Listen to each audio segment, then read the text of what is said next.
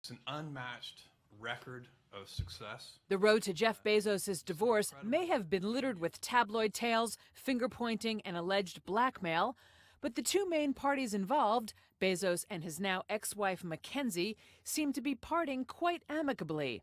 So much so, in fact, that Mackenzie tweeted on Thursday she's, quote, happy to turn over what undoubtedly amounts to a significant fortune, giving Jeff, quote, all of my interests in the Washington Post and Blue Origin, Bezos' aerospace company, and 75% of our Amazon stock plus voting control of my shares. The divorce settlement providing some relief for Amazon investors, says Reuters correspondent Jeffrey Dastin. There almost had been a cloud hanging over Amazon stock because with an impending divorce proceeding, investors didn't really know if you know Bezos would give up his control in the company and would give up his his stake, you know, half of it, more of that, who knows? And the reason that that that question mattered is because Bezos is viewed as central to the company's success. So this this says things you know have ended amicably. Bezos will continue to be in charge of the company's biggest bets going forward. Jeff, in a tweet of his own, responded with.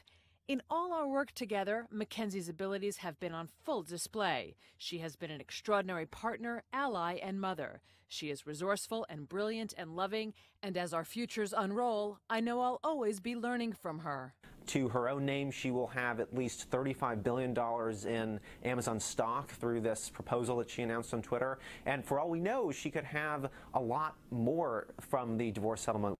The dissolution of their 26 year marriage comes amid reports Bezos had an affair with TV host Lauren Sanchez, first reported by the National Enquirer. Bezos launched an investigation into how the tabloid gained access to private text messages he sent Sanchez and later posted a shocking incrimination of the Enquirer, claiming parent company AMI and CEO David Pecker threatened to publish more intimate photos of him and Sanchez unless the probe was called off. AMI denied the blackmail charge and said the source for its reporting was Sanchez's brother, Michael. Both Jeff and Mackenzie Bezos tweeted that they will continue their friendship as co-parents, with Mackenzie adding, quote, excited about my own plans, grateful for the past as I look forward to what comes next.